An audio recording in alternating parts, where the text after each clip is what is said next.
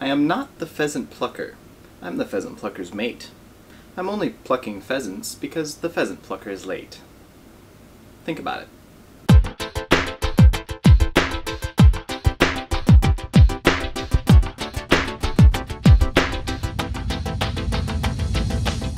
Hello, Internet! First article of business for today.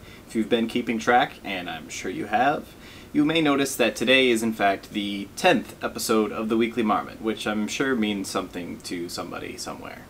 Number two! If you have not yet been made aware, or if you just forgot, uh, this Tuesday, January 5th, marks the opening of the first gate in Icecrown Citadel that will give us access to Festergut, uh, Rotface, and Professor Putricide. This is coming out on Wednesday, January 6th on European servers. Uh, so definitely keep an eye on tankspot.com and check that out. We'll be getting encounter guides up for those as quickly as possible. Also, Belelros from the Spanish World of Warcraft fan site GuiaSWow.com has been kind enough to translate several of our videos, particularly the Icecrown 25 man videos, into Spanish for our Spanish speaking viewers. So if you don't understand English, well, this probably isn't helping you very much, but it's there. Moving on. After my last video, I got all sorts of feedback saying, why do you just talk about add-ons all the time? What happened to all your raid leading stuff? I want to see more raid leading stuff. Why do you just talk about add-ons? So, with that in mind, I figured it'd be a good idea to talk about add-ons for this entire episode. That's that's a lie. I'm going to talk about raid leading. So without further ado, today's topic is how to deal with wipes that are just absolutely terrible, or how to be a complete dick to everyone you know. Imagine this. Say, for example, you're working on Northrend Beasts kill number 3718.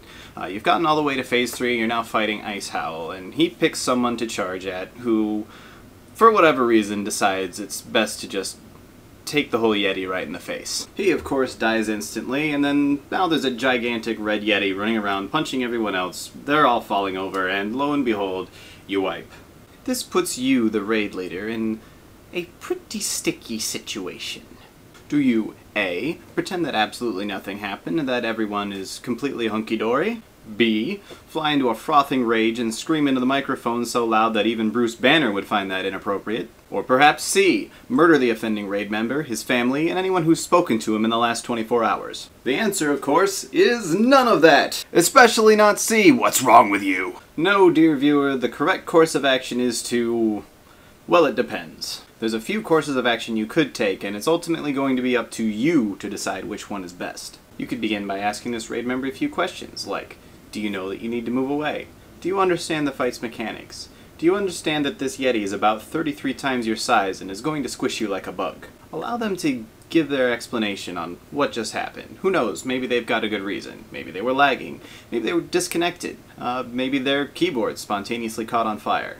Their explanation suits you, that's fantastic. Come back and do the whole thing again, just minus the everyone dying part. If, however, their excuse just doesn't cut it, well, this is where it gets fun. You got yourself a job to do. You need to get across to this person that whatever they just did, don't do it again. That was bad.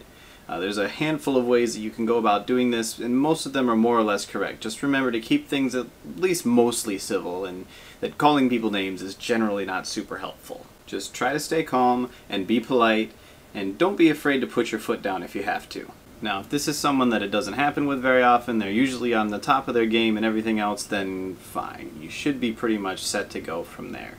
They might argue with you a little bit, but you can feel free to let that one slide in this case.